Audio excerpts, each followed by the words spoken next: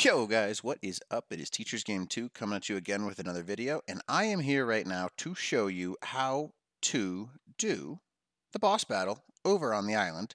And we're going to go ahead and do it's it's incredibly fast. It's you'd almost miss it if you even blinked.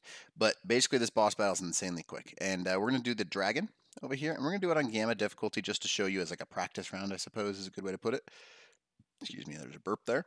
But Anyways, we're going to do it on Gamma difficulty, and we're going to use these Deinonychus and a Daeodon.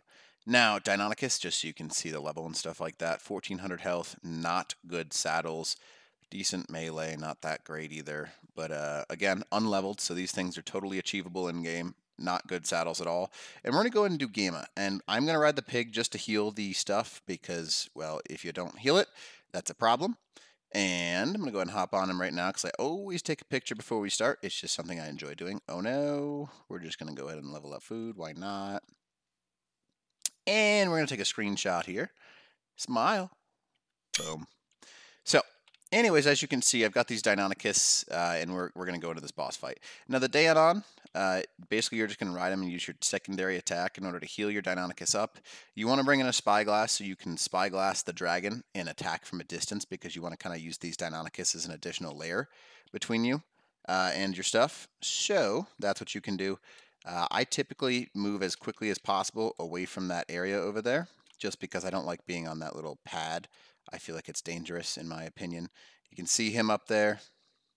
And we're just going to, you know, avoid and wait at this point in time. Uh, we're going to go ahead and whistle these guys to attack my target. Got to wait for the dragon to land, which is like, you know, one of the most pain in the butt parts of this entire boss fight. Because sometimes he takes a long time. He's got his little flappy wings going. And that that's just a cool image, you know. Maybe I'll take a picture of that too. That's just funky looking. Least I like it. So you want to try and avoid those meteors. Meteors are not, not fun. Avoid them. Obviously, as you can see, we're being attacked by things. So we're going to go and let these things just shred them right there. Oh no, I lost my trilobite. That's unfortunate. I didn't know a trilobite was in here. Oh well, sad day. Trilobite has disappeared. Now we're going to go and use our wheel, attack this target on them. I may have made a big mistake and put them over the lava, so we're going to go ahead and whistle passive on them and make them come follow me. Come on, guys. Let's go this way. There we go. Whistle attack this target. Is he close enough? Whistle attack this target. Heal him up. As you can see, uh, this guy's got quite a bit of health, so we're going to try and get in there and heal up to the best of our ability. You can see these things do a bunch of damage, which is nice. Uh, he's already about a quarter, and we're just going to kind of avoid to the best of our ability. I'm not going to attack. You can see me just running in a circle. He's about half health, and we're just going to try and keep healing these guys up. Ooh, there's some of that damage that I was waiting and oh, there we go. He's still getting that bleed damage. That's what we're looking for. About a third, losing some Deinonychus pretty quickly here, though. Uh, so Alpha might not be doable, but you can see he is just getting blown out of the water, and boom, there it is. Now, these Deinonychus, obviously, I'm going to go ahead and, you know, I'm just going to hop off and enable some passive healing. Boom you can see they took a lot of damage. Um, there is no boosts, no anything on them. They're just Deinonychus with crappy saddles. So as you can see, if you had good saddles, you might have a pretty good chance at this.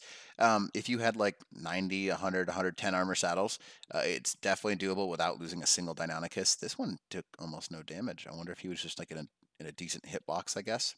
Oh well, you see the point. So, Daeodon, uh, I'm just healing these guys up right now, and uh, you can see some survived just fine. Some did not. Uh, it's not that hard of a boss fight, but uh, you do get a decent... I think I dropped everything. Yeah, that was foolish. I was going to show you the element that I got here. Um, did I not get any element? Do I have to check him? Weird. Is it not there? Interesting. Well, I guess I didn't get any element for that one, but oh well.